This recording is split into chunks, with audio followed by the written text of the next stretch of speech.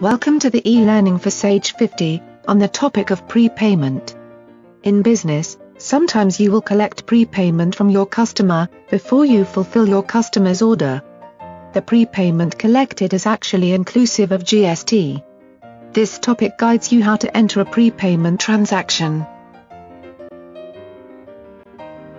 According to the Guide on Supply, Deposit, whether refundable or not refundable, or in the form of security given, in respect of any supply of goods or services, is not part of the consideration for the supply, if it does not form part of the payment for the supply.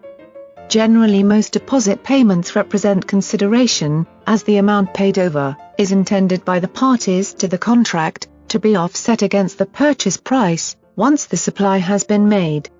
Such payments fall within the scope of GST, and tax must be accounted for on receipt of the deposit.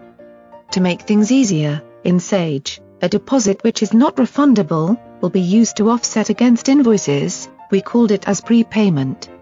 Prepayment is inclusive of GST.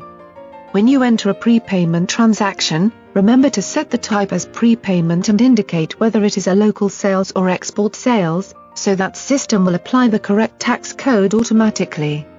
Now, you will see that GST amount is calculated automatically. Just that simple.